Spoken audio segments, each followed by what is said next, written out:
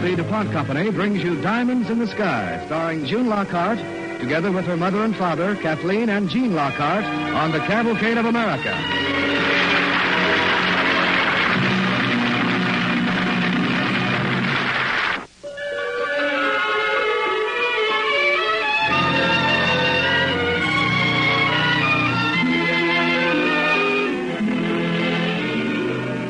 Diamonds in the Sky, starring the Lockhart family with Kathleen as Maria Mitchell, June as Gladys Susan, and Gene as Mr. Motes on the Cavalcade of America.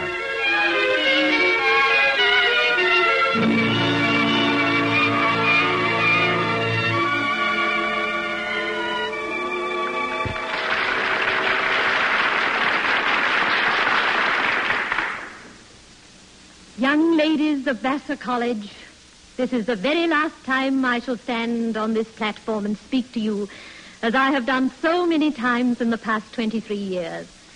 It is another century, and the voice is that of Maria Mitchell, America's first great woman astronomer, whom Lincoln called an important American natural resource. now that I've lived She is addressing the students at Vassar College so the day she retires from I the leave faculty. here with something less than elation. I've loved being one of you. Loved being one of you, although there was a time. It was back when I was a mere slip of a girl. A mere slip of a girl of 47. I was in the observatory in the backyard of my home in Lynn, Massachusetts. It was a lovely, cloudless, moonless night in summer of 1865, and I, I remember I was examining two nebulae in Leo through the telescope.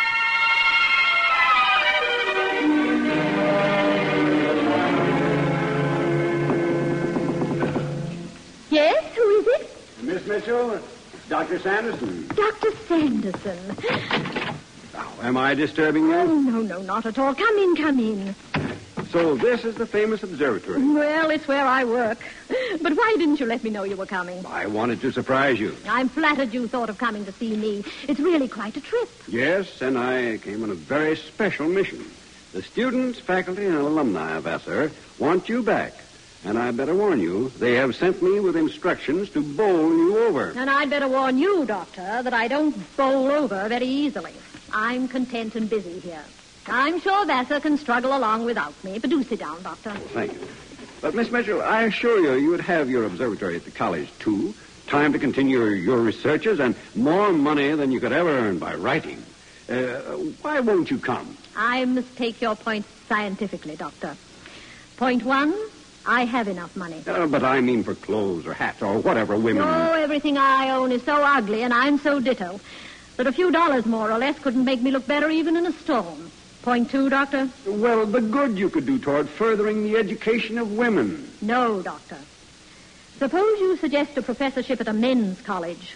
I could do something for women's education if that's what you're offering me. I'd teach men how to boil their own breakfast eggs, for instance, and a few other things. Point three, Doctor? I fear I am not bowling you over. Yes, who is it? Miss Mitchell, uh, it's Mrs. Ramsey and Mrs. Moe. Oh, Mrs. Remsen and Mrs. Motes. Well, ladies, please come in. Oh, thank you, Miss Mitchell. Dear. Oh, oh my goodness, I didn't know you had a visitor. I'm so sorry if we are disturbing you, Miss Mitchell. Ladies, this is Dr. Sanderson. Uh, Mrs. Remsen, Mrs. Motes, Doctor, How two of my do, neighbors. Mrs. Remsen? How Miss do Mote? Miss Mitchell, we'll only stay a minute. Yes, it's about a horoscope, Miss Mitchell. A horoscope? Yes, you see, well, you remember my daughter. And my son, Sam. Maybe you never met him, They but got married a year or so ago, and they've just had a baby. it's a girl, and they've named her after us. Gladys Susan Moat. Gladys for me. And Susan for me. Isn't that sweet? Well, congratulations, ladies. I hope you'll send her to Vassar when she's old enough. Oh, thank you so much. Congratulations to both of you. But did I hear you say something about a horoscope? Yes, we have the information here. Two minutes past nine on the night of the 12th. In Hartford, Connecticut, in case the stars are different there. You two ladies, you really think that what I do in this observatory is cast horoscope? Oh, no. No, we've heard that you do lots of other things, too. Discover stars and all, but we thought... Of course, if you're too busy, my dear. Busy? Oh, not at all, not at all. So you want a horoscope. Very well. On the night of the 12th, Venus and Mercury were almost directly over Hartford, Connecticut. Saturn was casting a malignant influence on Virgo, and precisely the moment the two-faced twins... No, no, no, I'm wrong. Wait a minute. And at precisely the moment Gladys Susan was born, Aries, the goat, had cornered Gemini, the two-faced twins, and was butting them both in a frightfully delicate spot. Oh, oh, oh ladies, I'm sorry to tell you that never in history has there been such gross indecorum in the heavens. No. Oh, my goodness. And well, you might drop that oath, Mrs. Remsen. For that moment will be known down through the ages as the Bachelor Ball of Infinity, the Saturday night of the cosmos, the stag party of the zodiac. Oh, my. Oh, my. Then, then little Gladys Susan. Exactly, Mrs. Most. Ladies, I very much fear that at the time your granddaughter is old enough to enter Vassar, Yes? her reputation in the community will be such that Vassar will not have her at all. Oh, dear. Oh, dear, poor little Gladys Susan. Now, what shall we do? Ladies, there is one way out. Yes, yes. What is it? Yes, what is it? Hurry home. Hurry home and go down on your knees and pray for a spark of intelligence. Pray and pray. And then perhaps you will understand that God put all human creatures on this earth with a free will to do with their lives what they wish. He made you free of the influence of the stars so that you might stay free and not be tyrannized ever. Ladies, I wish you an irritable good night. But I don't understand. I wish you good night. You mean you don't believe in astrology? Is that what you... Precisely, Mrs. Moat. And now, if you'll excuse us, Dr. Sanderson and I have some palm reading to do. Well, I never... Me, either. I've never been so insulted. Oh, Dr. Sanderson, I apologize to you for my flare-up and their stupidity. Apologize. I enjoyed it immensely. And to think, and to think that I was sent here to bowl you over. Doctor, I have a message for Vassar if you'll be good enough to take it. Yes? What is it? I think now that perhaps female education in this country needs every ally it can get. Doctor, you may report to the faculty that I have been bowled over. Very thoroughly bowled. I accept.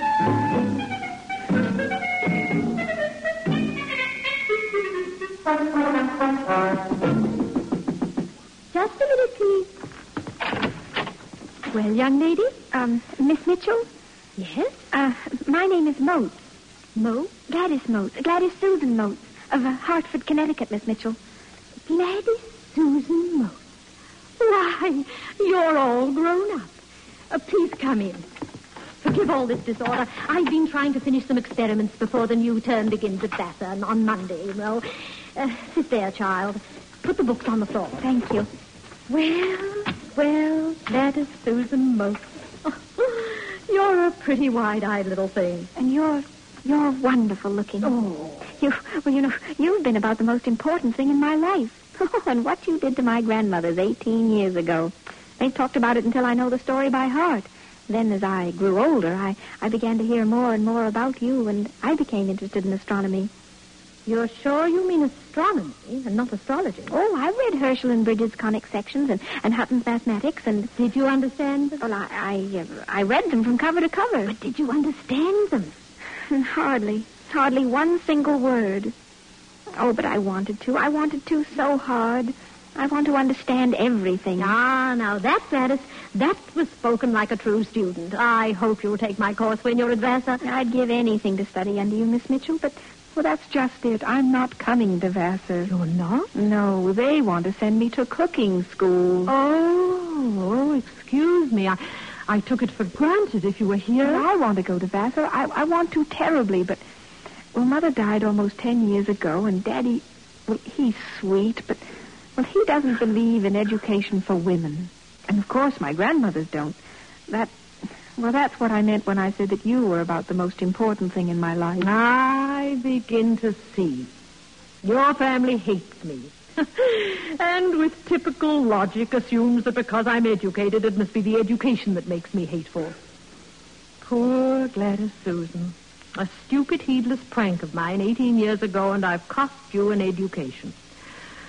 Oh, child, how can I ever make it up to you? Well, I, I did think perhaps... It seemed to me that anyone who could discover a comet ought to be able to convince old Dad. Convince old Dad. Oh, Gladys. I want to help you, but here I am, a traditional family enemy. The minute you mention my name, he'll disagree with me. Before I said boo.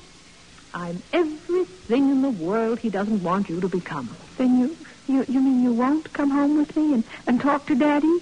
Oh, please, Miss Mitchell. Well, child, I, I suppose I owe it to you to try. Where did you say you live? Hartford, Connecticut. Hartford, Con- Oh, of course, right under the stag party of the Zodiac. well, well, Gladys Susan, I'll do my best.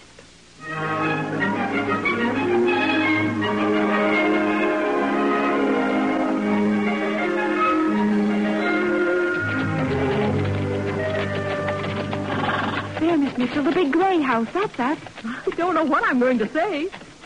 What will your father do when he knows who I am? Well, I, I, I thought I wouldn't tell him who you are at first. You said yourself as soon as he hears your name that he'll... How are you going to introduce me? Well, as, uh, as our new housekeeper. Housekeeper? Gladys, are you mad? Well, you see, Daddy sent me to pick up a new housekeeper. He's he's written her letters and everything, but, but he's never seen her. So why couldn't you be Minerva Higginbottom just until well, just until we can catch him in a good mood? Minerva Higginbottom. Yes, I think you're out of your mind. I've not lived 65 years to become something called Minerva Higginbottom. Ooh, order! Here we are, ladies. Here we are indeed. Where are we? Well, well, well. Um, you're late getting back, Gladys. Uh, hello, Daddy. Uh, Daddy, this is... Yes, yes, yes, yes. Miss Higginbottom, of course. How do you do, Miss Higginbottom? Uh, Miss Higginbottom, is anything the matter? I said, how do you do? How do you do, Mr. Motes, sir?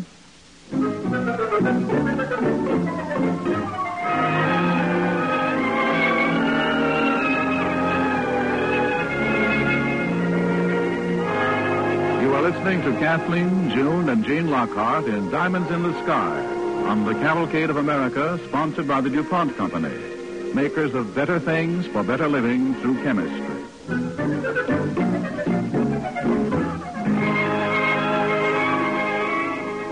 Tonight we are bringing you a story about Maria Mitchell, the celebrated American astronomer and educator of the 19th century. Maria has been induced by young Gladys Motes to come to her house and act as housekeeper so that she might get a chance to persuade Gladys' father to send her to Vassar College where Maria is teaching. We continue as Maria is being shown to her room. Well, well, now, um, this is a nice little room, isn't it, Miss Higginbottom? Yes, yes, it is, Mr. Motes. What are my duties? Uh, duties? Well, up at six, make the fire, brew some coffee, bake some bread, have breakfast ready sharply at seven. After that, trim lamps, put up the house, and then uh, Gladys here will help you with the tatting, sewing, and darning. Oh, wait Uh, a minute. I thought this job was housekeeper. To me, a housekeeper is someone who's in charge of the other servants. Ah, but I found that calling the job housekeeper gets me a better class of maid. I, I hope you don't object to work, Miss Higginbottom. I said, I hope you don't mind work, do you? Minerva, Daddy's asking you a question. I believe in women doing plenty of housework. you mean it keeps their foolish little hands out of trouble? Precisely. Remember, Minerva, I'll be helping you all the time. Yes, and that's the main thing. I expect you to educate my daughter. That's why I'm willing to pay you seven dollars a week and board. Educate? Educate in the only things that's proper for a woman to know. Oh. Cooking, uh, sewing, housework, uh, plus some little artistic accomplishment, and... Uh, well, well, Miss Higginbottom, is anything the matter? You're quite red in the face. Miss Higginbottom, is there... Some little artistic accomplishment. Don't you think that's superfluous? Not at all. Not at all. I believe very strongly that it's woman's duty to bring beauty into a man's life. After dinner, when he has his slippers on, she can play piano, uh, sing, uh, something like that. Oh, she's not a complete woman if she can't dash off a minuet after giving him a good dinner. I, I hope you agree, Miss Higginbottom. Don't you think, sir, It's physically possible for a woman to be tone deaf. Well, I suppose it could happen. I never heard of it, but I suppose it could happen. Well, then, uh, would she still have to sing? Oh, no, not at all. Uh, it wouldn't be very good to listen to then, would it? uh, no, indeed. Uh, she could do, well, pretty things, you know, bright pieces of string. And, uh, I like colors myself. Uh, embroidery, you know, provide relaxing beauty for her husband. That's the main thing. Do you think it would hurt her husband's comfort terribly if she could read a book or discuss the affairs of the world with him? My dear madam, there just isn't room in the little female brain for cooking, sewing, piano, and book learning. There just isn't room. Well, now, I'll let you get settled. Dinner at six, two guests. Two guests. Who, Daddy? Huh? Well, I thought I'd told you. Your two grandmothers are coming down for the weekend. Grandma Motes and Grandma Remsen. Well, see you at dinner.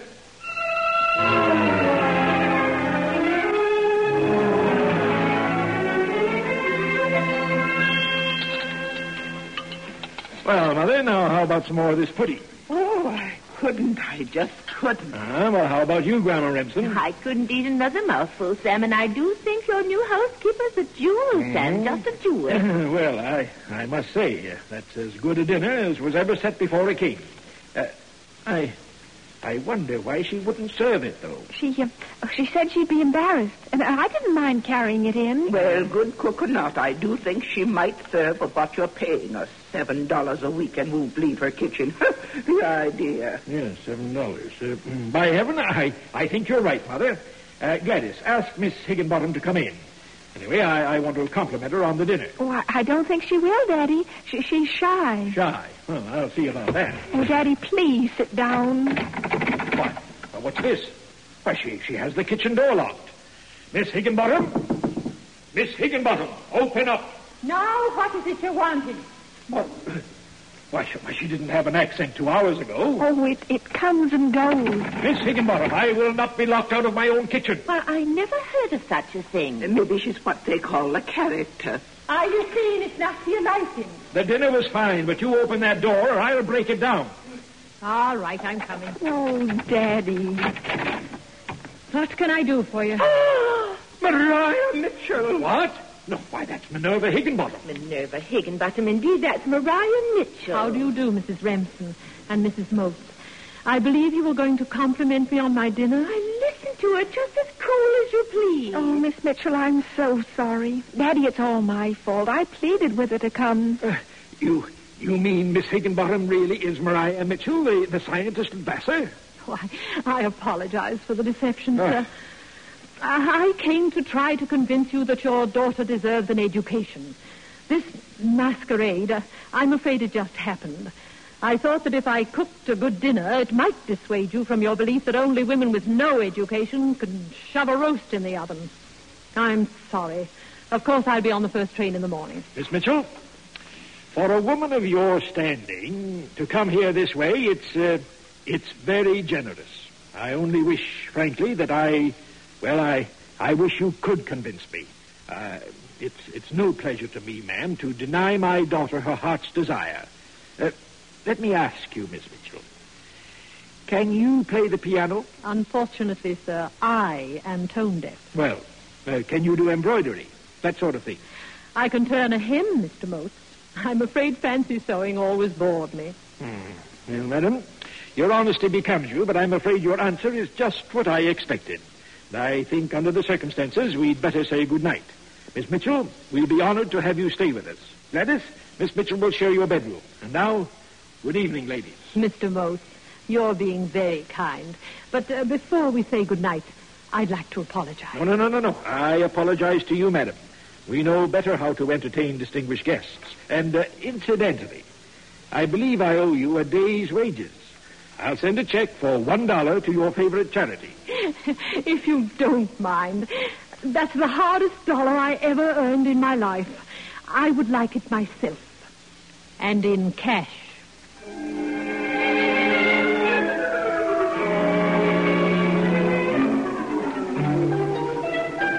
Shh, please, Miss Mitchell. We're standing right over Daddy's bedroom. What would he think if he found us on the roof at this time of night? Why, the whole household's been asleep for hours. it would probably confirm your father's belief that I'm mad as a march. Here, this is a good place to set up my telescope. It's such a beautiful little telescope. I carry it everywhere. In the last 30 years, I haven't missed a night's observing, weather permitting. And you know, there's great solace in looking at the stars when one's unhappy.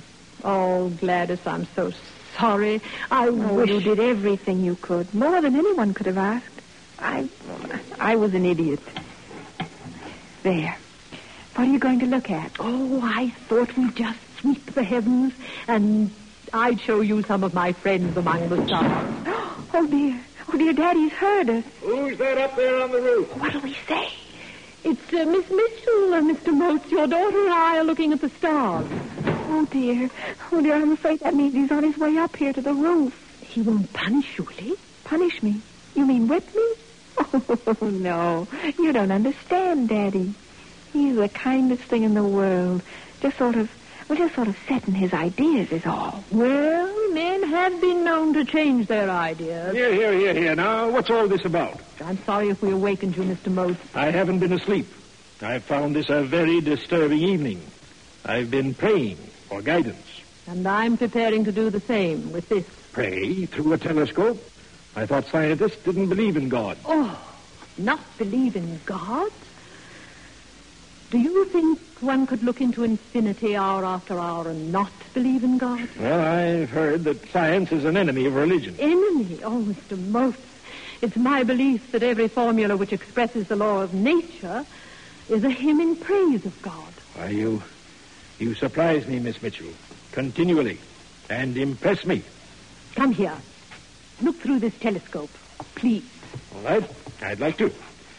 Uh, I don't, I don't see anything. Wait a moment. Let me adjust it. There.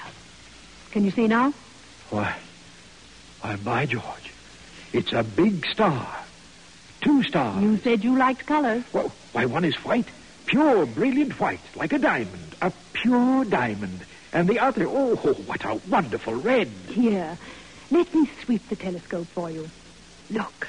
You talk about beauty being a woman's problem. Oh, What would you say to a wife who could show her husband such a garden of colors? oh, Our language has no words for such delicate differences in shade. Such intangible... George. There, look, two together. A green one and the richest, most beautiful blue. Mr. Motes, if you'll let Gladys come to Vassar, I'll teach her to know her way through God's great and limitless garden.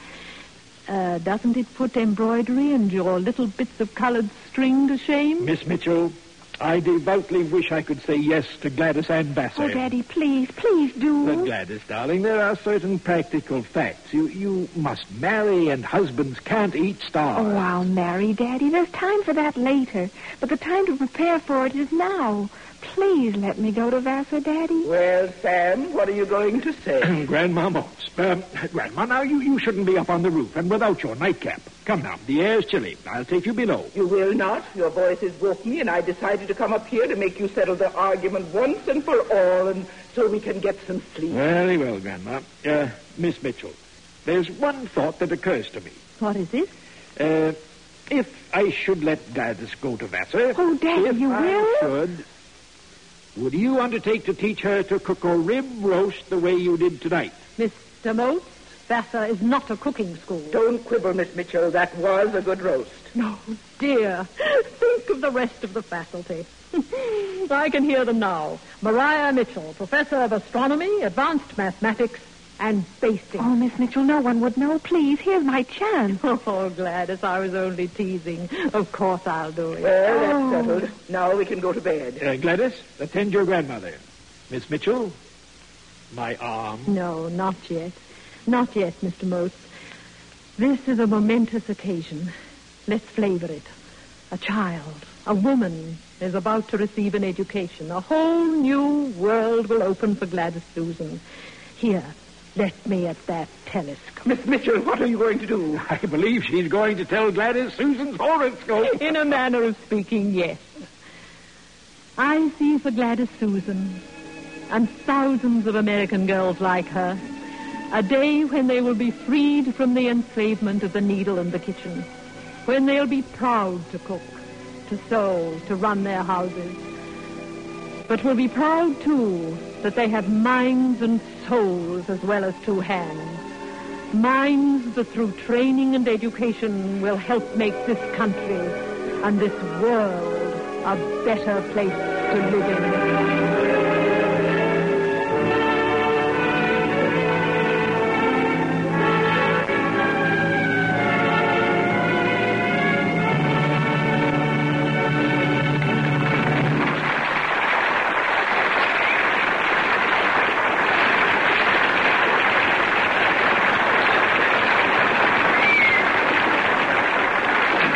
Thank you, Kathleen, June, and Gene Lockhart.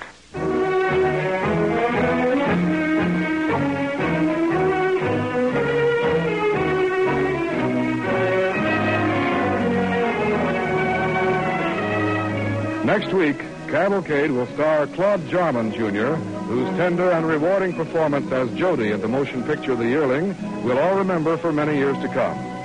Our Cavalcade play will be a radio adaptation of Dale Eunson's popular story, The Day They Gave Babies Away, the true and heartwarming story of a boy who played Santa Claus to his grown-up neighbors. Be sure to join us then next Monday night at this same time for The Day They Gave Babies Away, starring Claude Jarman Jr. on the DuPont Cavalcade of America.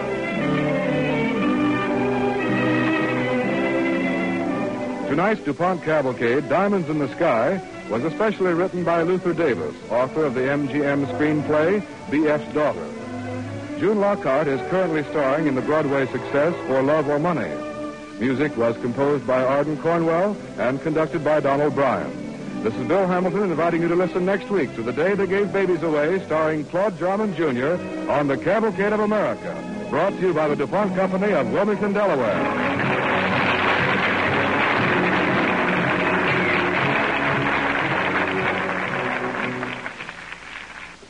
This is NBC, the national broadcasting company.